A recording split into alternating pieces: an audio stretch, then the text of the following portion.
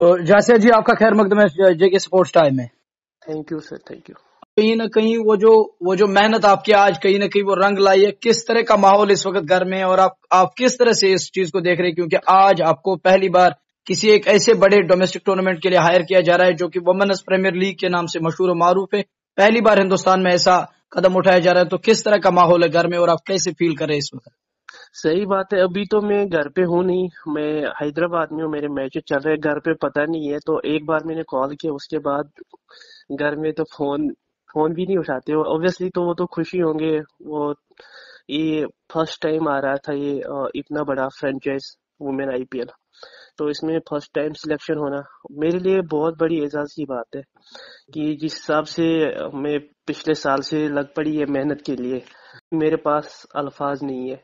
बयान करने के लिए कितनी खुशी हुई हो इस वक्त आपके कानों में ये आवाज़ पड़ी है कि यहाँ आपकी स्क्रीन पर जब आपने देखा होगा कि मेरा नाम आ रहा है और आपको पिक किया जा रहा है तो कैसा महसूस किया उस वक्त? जी तो मेरी तो जान ही अटक गई ऊपर। तो और उसके बाद जब आई तो ऐसे आ, मेरे को समझ नहीं आ रहा सच्ची में नाम आ गया या ये रियलिटी है या वो है।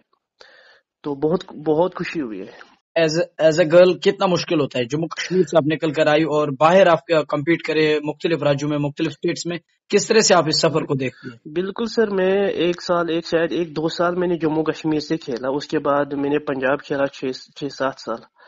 तो बहुत फ़र्क है कि जो हम अब मैं दो साल से राजस्थान खेल रही हूँ, राजस्थान से खेल रही हूँ, कि बहुत फ़र्क पड़ता है कि आप देखिए कि फैसिलिटीज़ जो हमारे कश्मीर, जम्मू कश्मीर में नहीं है।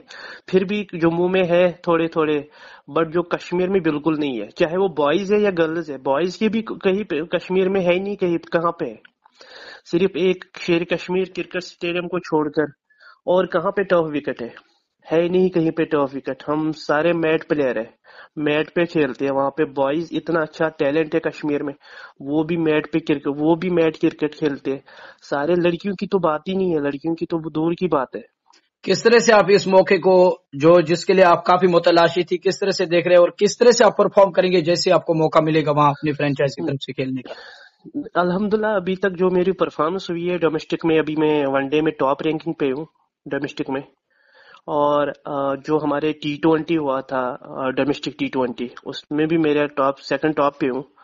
और अब यहाँ जो आगे जाएँगे कि मेरा बस यही है कि मैं को, यही मेरी, यही कोशिश की मैं अपना मैं अपना, जो मेरे पास गेम है, उसको अच्छे से खेलूं, अपना बेस्ट दूँ, और इसको, ये तो है ही इतना बड़ा लीग है। तो मैं कोशिश करूँगी हंड्रेड टू हंड्रेड परसेंट में कोशिश करूँगी अपना बेस्ट देने के लिए और अच्छा करने के लिए। आगे के लिए क्या आजाम है आपके? किस तरह आप आज़म है? क्योंकि आगे जो है आप इसके सामने जब आप ये वुमेन्स प्रीमियर लीग खेल के जाएँगे तो इसके बाद सीधे कॉल अप हो सकती है आपको जो है इंडिया टीम के लिए मौका मिल सकता है। तो किस तरह आपको उस चीज़ के लिए? बिल्कुल मैं hundred percent hundred percent sure हूँ। कि मैंने क्योंकि मैं टॉप टॉप किया वनडे में भी टॉप किया और टी ट्वेंटी में मैंने भी अच्छे रन बनाए पाँच सौ नब्बे रन है टी ट्वेंटी में वनडे में पाँच सौ रन है।